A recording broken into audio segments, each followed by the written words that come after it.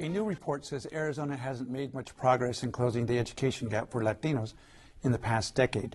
The data reveals consequences to the state's economy if nothing changes. The report released by Arizona State University's Morrison Institute for Public Policy is called Dropped Latino Education and Arizona's Economic Future. With me to talk about the information is Bill Hart, Senior Policy Analyst, and CJ Eisenbarth Hager, Senior Policy Analyst, both with the Morrison Institute for Public Policy at ASU. Welcome to both of you. Thank you. Um, CJ, I, when I read the title, I probably should have put an emphasis. It's a question mark, drop question mark.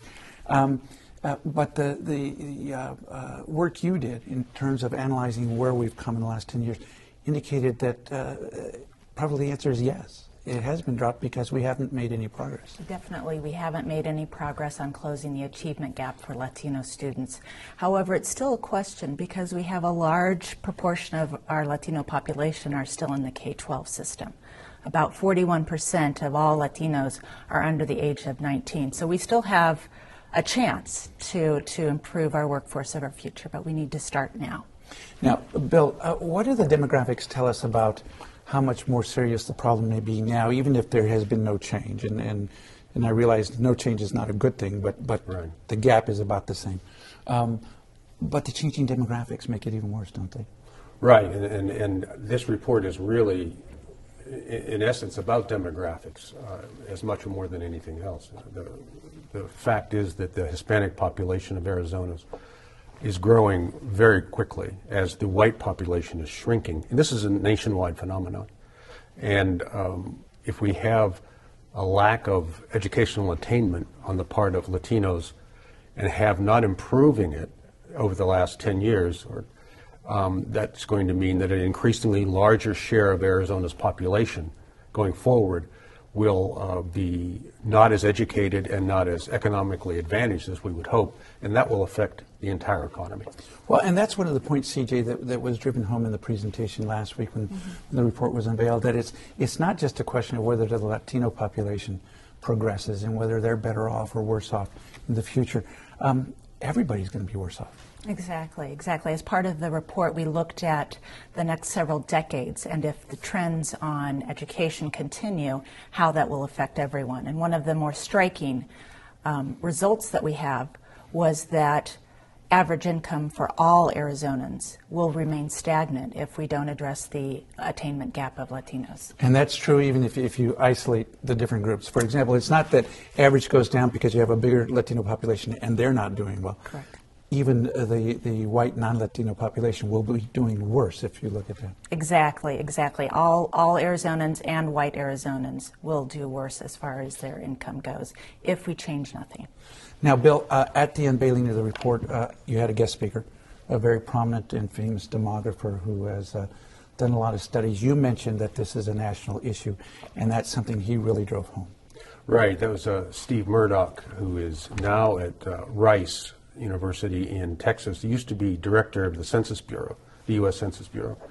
And he and, and his team did a, a, a, study similar to this. In fact, it was partially our inspiration to do this in Texas a number of years ago and found exactly the same result. And as in his uh, address and in his uh, speeches about this, talks about, warns the very same things that we're talking about.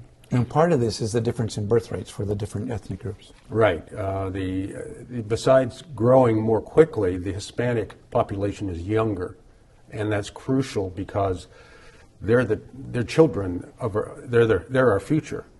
Uh, so uh, you're having a uh, a large, rapidly growing young Latino population. They're our future leaders and workers um, in Arizona, Texas, other places like that.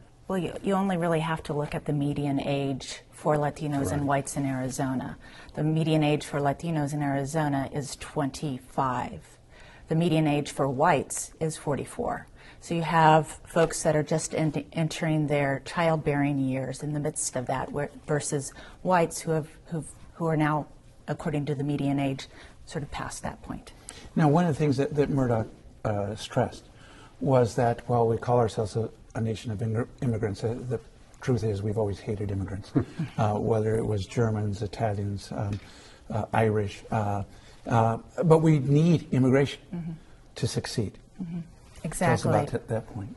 Exactly. Um, that these are, again, these are, the Latinos are really driving the population increase. If you look at uh, population change over the past decade, uh, we would have lost population if we were only looking at, at white, white families here in Arizona. The, our, our, our growth was really fueled by Latino families. Well, and, not just Latino immigrants, it's, it's uh, the higher Latino birth rate. And I think one point that was made at, at the, uh, at the discussion last week was that um, uh, the issues and the gaps aren't just attributable to the fact that we have recent immigrants, a large immigrant population. These are, multi-generation Latino families here who are not catching up. Right, both. And, and the immigration issue is, is really disconnected from this issue. The, the, the most telling statistic is that uh, I believe it's 97% of all Latino children in Arizona under five are U.S. citizens. Whether their parents are undocumented or documented or a blend, they're U.S. citizens that we're talking about. We're not talking about immigrants. CJ, we're almost out of time. Uh, what's going to happen going forward? What, what can be done to close the gap? Sure. A number of the experts that we really talked to said that early childhood education is really key, particularly for the Latino population. That a year or two before kindergarten will really help acclimate Latino children to um, to school. Um, And, and, and Bill, given the fact that, that there seems to be such a strong anti-immigrant sentiment in the state right now, Right. is it realistic to think that anybody at the legislature is going to care enough to, to provide more funding for these efforts? Um, That's uh, a, a very good question. I hope so, because the two issues that you raise are key. One is funding. This is going to cost money if we're going to really improve our educational system. And secondly, the people we will be most embracing, in a sense, will be children, many of whom are children of undocumented immigrants. And that's not a sentiment that's uh, very, you know, uh, popular in this state today. CJ, last question. Um, there was a panel discussion. You had some business leaders on it. Give us a sense for what their thoughts were. They really focused on the future um, workforce of Arizona, and the future workforce of Arizona will be Latino. And but if we if the trends continue with the with the attainment gap, as employers, they're going to have less skilled, less qualified employees to choose from. So they're very concerned. In fact, uh, later this week we'll be speaking at the Arizona Hispanic Chamber of Commerce luncheon about this issue. So a lot of businesses are very concerned about this. Well, thank you both so much for joining us on Horizonte to talk about this. Thank you. Uh, that is our show for this Thursday night from all of us here at Horizonte. I'm Jose Cardenas. Have a good evening.